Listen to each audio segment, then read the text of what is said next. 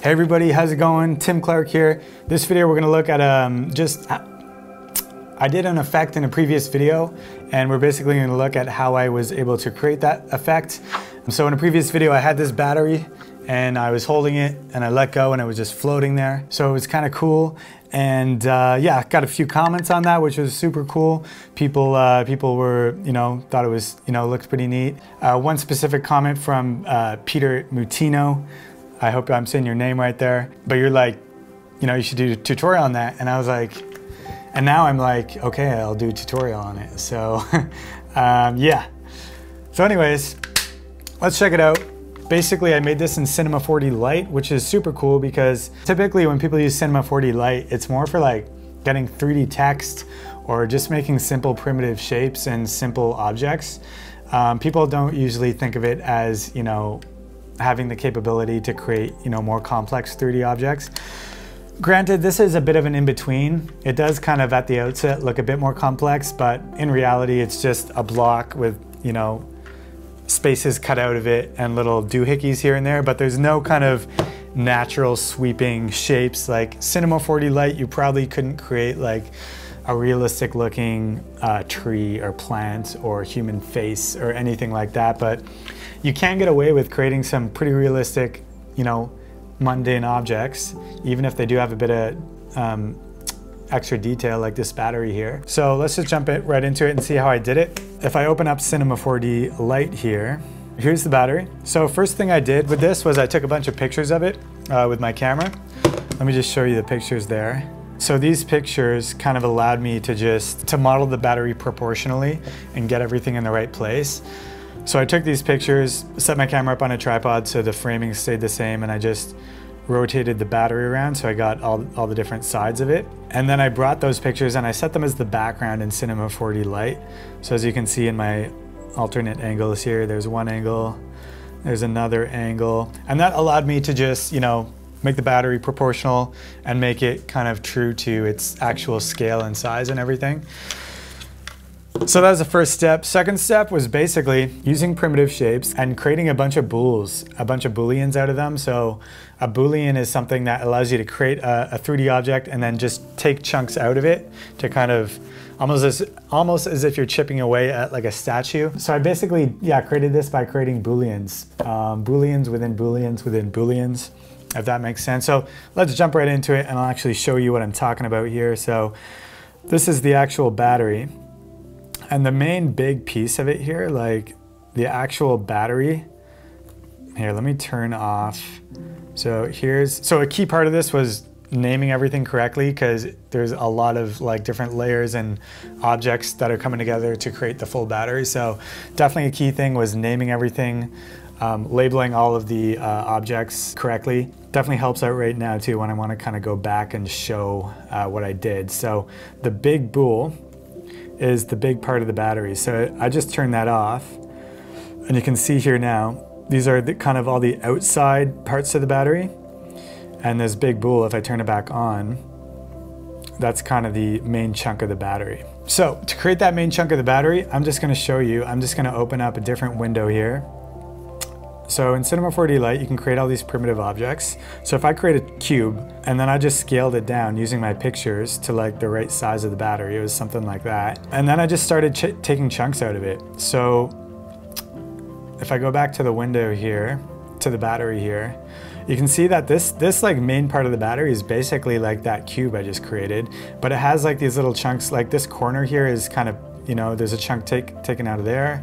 Um, this little inset here, there's a chunk taken out of there. If I flip it around, you know, there's a chunk taken out there. Um, here, I basically had to create a full block and then take chunks out of it. So let's jump back to the other window again.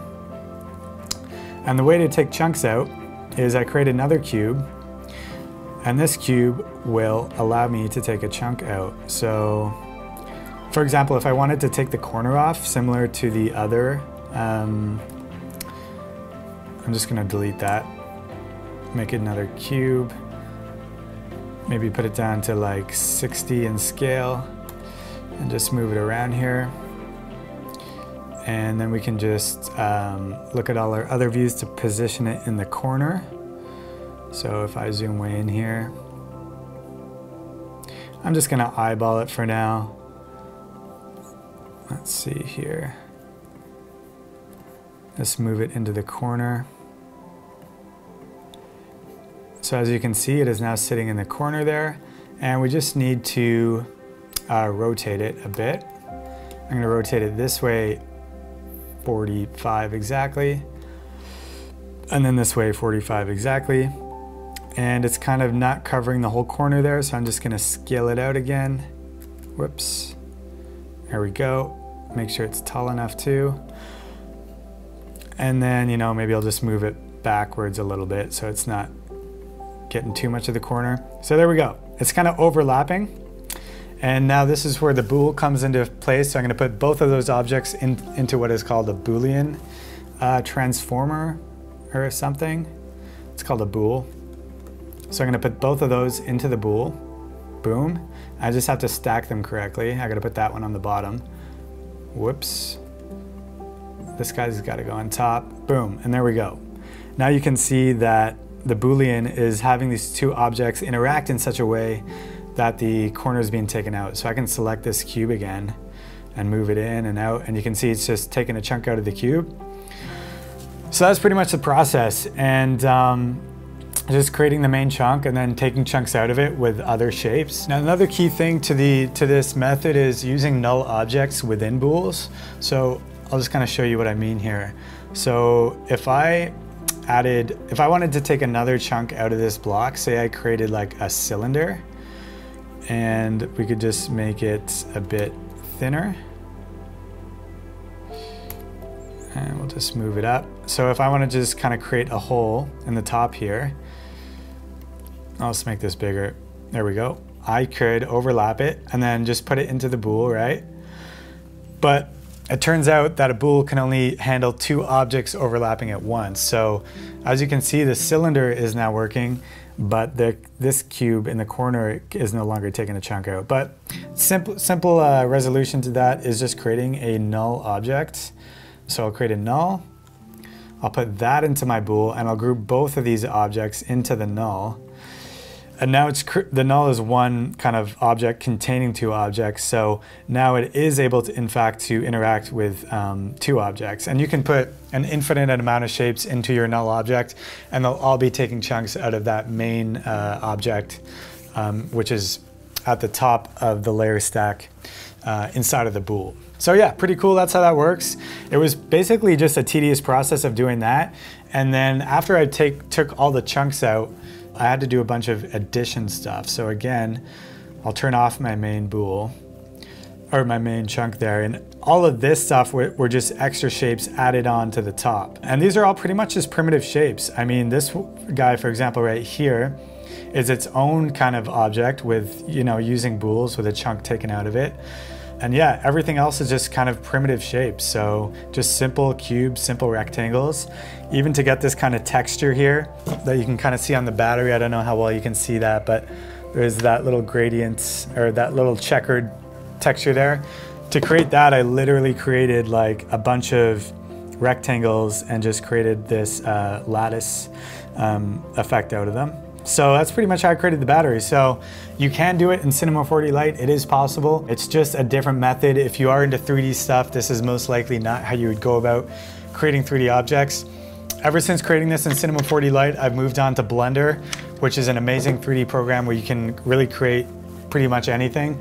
And you actually do it in the way that, you know, any 3D artist would actually create something in because it's not a light version of a pro program. Blender is a free, completely free um, grassroots software. It's, it's pretty amazing though. And yeah, you can actually create, it's like a full program. It's not a light version, so it works pretty well. Now going back to After Effects, you don't need to use Cinema uh, Element 3D, but I use a plugin called Element 3D. Um, it allowed me to, Element 3D is basically amazing for having really fast uh, renders and play and like real-time playback in After Effects. Usually when you have like, if you're using Cineware with Cinema 4D Lite, it's just gonna take a really long time to render.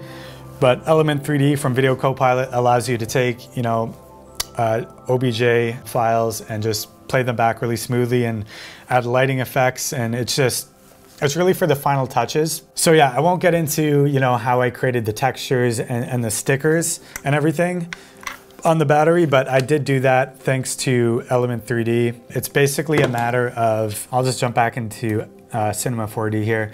It's basically a matter of adding a, a different texture onto each part of the object.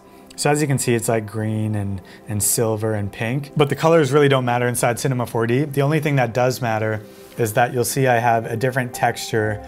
Every part of the battery that I wanted to kind of have its own unique texture, I would put a different texture on it. And then when you bring it into Element 3D, you can assign actual images to those textures. So that's how I kind of got the actual image from the battery onto the object in After Effects. So, and the part where I actually kind of went like this and then the battery was floating, I literally just held my hand out, went like that, and then kept moving as I naturally would. So there's a bit of a jump cut there um, when I did that just because the cut wasn't seamless, but that's pretty much how I did it. And then in After Effects, you just shine lights at it to kind of make it look like it has the same lighting setup as the actual set that I filmed at.